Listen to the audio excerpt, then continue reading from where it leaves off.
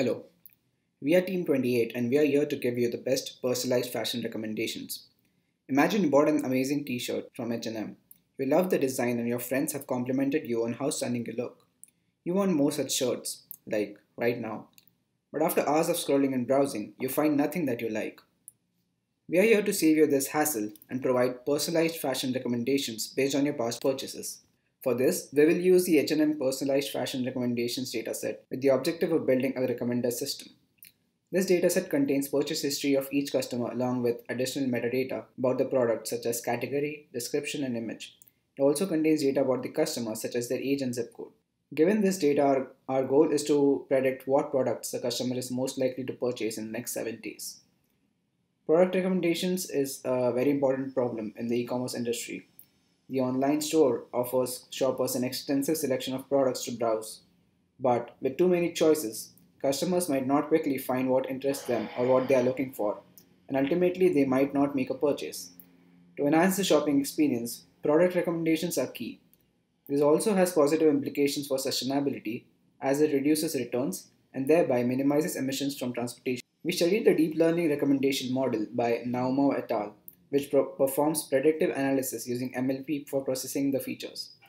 We also studied the collaborative fashion recommendation by Hu et al., which recommends sets of items based on function tensor factorization method, and Magic Closet by Liu et al., which provides occasion-oriented outfit recommendation using a support vector machine framework. Since this is not a standard academic dataset, we will be implementing the baseline approaches ourselves. We plan to implement the following methods. First, Collaborative filtering, which uses user product interactions without taking into consideration the content of the product. Second, content based methods, which use product descriptions and images to improve recommendations.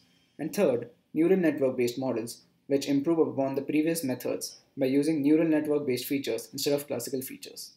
Since our dataset contains a lot of information about the products themselves, using this additional data in content based methods would help boost the performance obtained via collaborative filtering.